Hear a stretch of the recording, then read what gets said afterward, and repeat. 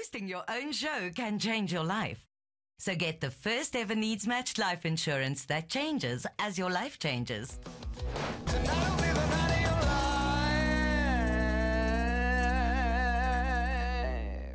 Morne, you're going straight from uh, uh, from here to those awards. You're, you're nominated, uh, and we know you and celebrate you as a cricketer. But there's something else you do that you're really good at, and that's photography. Very passionate about the bush. We've got some of your safari photography, uh, and you've got some extraordinary. I mean, that's just an amazing photo. Uh, talk us through your time in the bush and, and how you get to take photos like this. I think it's important just to get away from the game. You know, we um, mentally and um, all those sort of things can get a little bit draining. We spend a lot of time away from, from home.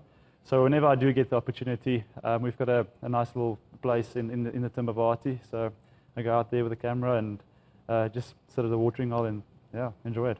An exciting time for you too, not just photography and cricket and awards, uh, but there's a, a, five foot three baby arriving shortly. Yeah, no, 31st of August is my, is my big day. Um, you know, uh, very excited about it. Um, you know, I blame load shedding for it. I think these names are also going to be load shedding. Going, taking back to the roots when there's no TV, no radio, no lights. Um, but yeah, can't wait.